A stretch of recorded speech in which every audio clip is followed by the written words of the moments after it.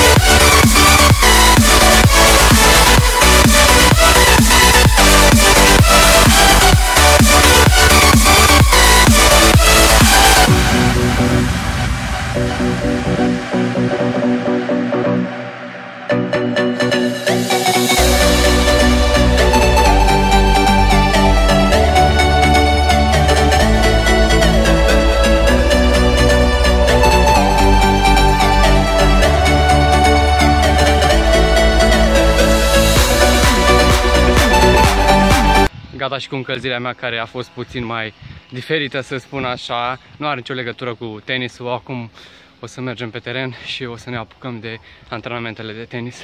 Acum am terminat și antrenamentele cu copiii și s-a încălzit foarte tare, iar eu sunt încă în plover, nu am nimic pe dedesubt, dar îmi este foarte, foarte cald pentru că mi-am uitat tricoul acasă, dimineața era foarte frig și am zis că o să îngheț toată ziua, dar se pare că a început să dea soarele chiar foarte bine, cred că sunt 20 de grade cel puțin acum și asta este foarte bine pentru că m-am săturat sincer de ploi și de frig, dar nu am ce face, abia a început sezonul. Am văzut în unele din comentarii că în continuare unii dintre voi nu știți ce fel de videoclip să-mi trimiteți. Cineva mi-a spus că face sport extrem cu trotineta și dacă poate să trimite video de genul puteți să trimiteți și videouri de genul pentru că este sport. În momentul în care faci ceva mai de performanță, iar performanța de obicei ajunge mai la extrem, la cele cu role, cu skate, cu bike, cu trotineta, puteți să-mi trimiteți și chestii de genul, puteți să-mi trimiteți cum înotați, puteți să-mi trimiteți cum jonglați cu mingea, puteți să trimiteți cum faceți gimnastică, cum săriți peste cap, chiar și cu kendama sau o combinați, doar să văd că este ceva ce vă place și faceți asta din pasiune, îmi puteți trimite absolut orice să fie legat de sport. Iar dacă tot a venit vorba de ceva mai extrem, aș vrea să promovez canalul unui băiat. Îmi place foarte mult ceea ce face pentru că îmi aduce aminte de mine cum eram eu acum câțiva ani, mai pe la început, pentru că filmam toate aventurile mele. Bine, în continuare filmez aventurile mele, doar că nu mai călătoresc, să spun cum călătoream înainte, mai ales în perioada când am fost plecat în Grecia,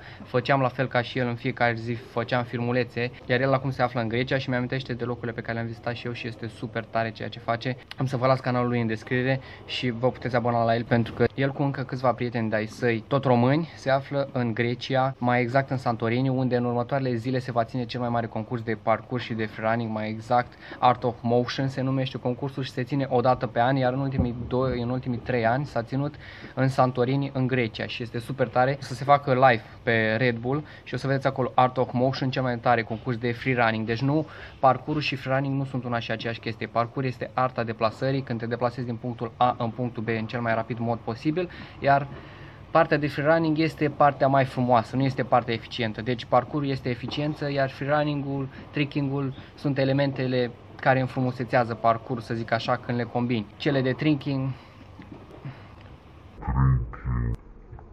Săriturile peste cap sunt elemente din tricking, din gimnastică, iar împreună parcurul cu tricking-ul formează free running-ul și cam asta va fi acolo. Va fi un concurs de free running. Într-un fel să înfrumusețezi, să faci un show, un spectacol, iar acesta va fi un concurs. În parcurs nu există competiție, în parcurs nu există concursuri, doar în partea de free running sau de tricking, ca și la gimnastică. Așa că dacă vreți să vedeți pe unii dintre cei mai buni free runneri ai lumii, abonați-vă la băiat pentru că are foarte multe videoclipuri de genul acesta și se va întâlni acolo în Santorini Santorini cu foarte mulți atleți. Am ajuns acasă și tocmai ce m-am schimbat, pentru că trebuie să mă duc să-l ajut pe tata și pe bunicul să dăm struguri la zdrobitor, pentru că abia ce i-a dus de la cules și avem foarte, foarte mulți saci. Avem de dat toți sacii ăștia, sunt plini, plini cu struguri toți și albi și roșii, doar că nu sunt amestecați. Sunt separat alb la alb și roșu la roșu. Aici este cel roșu și îl punem aici, după care trebuie să facem în cele două mari cu alb. Uitați-vă mustul, abia aștept să beau must.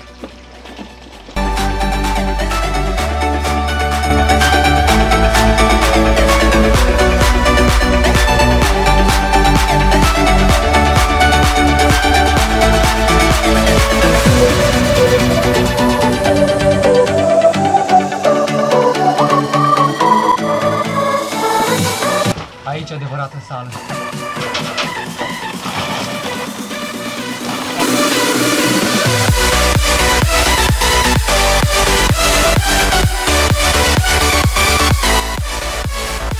Am făcut peste o tonă de struguri. Mă duc să fac un duș pentru că sunt foarte, foarte murdar, după cum se vede, și sunt foarte lipicios. După cum s-a văzut, am făcut peste o tonă de struguri. Am fost și am făcut repede un duș, iar acum eu trebuie să plec să fac niște mici cumpărături, iar după care trebuie să trec pe la florărie, pentru că mâine este ziua Sabinei. Astăzi este joi, iar mâine, adică momentul în care voi vă uitați la acest video, este 30 septembrie și astăzi este ziua Sabinei. Acum eu trebuie să mă duc să iau un buchet de flori și cadou pe care îl iau nu o să vi-l spun, o să vedeți nu mâine, adică în momentul ăsta, ci poimene, sâmbătă, 1 octombrie, o să vedeți exact surpriza și va fi o mare surpriză o să vedeți atunci despre ce este vorba. Am ajuns acum acasă, deja este noapte, se întunecă foarte, foarte repede, la ora 7 și jumătate este întuneric, este aproape ora 8 deja. Eu am fost, am făcut toate cumpărăturile și tot ce am avut de făcut prin oraș, iar acum trebuie să mă duc la masă pentru că mi este foarte foame, nu am mai mâncat de vreo 6 ore și ăsta este un record pentru mine pentru că eu mănânc cam la 3-4 ore, mănânc de multe ori pe zi pentru că sunt un mâncăcios. Și am să închei acest video aici și mâine o să ne vedem cu o surpriză. Nu mai bine.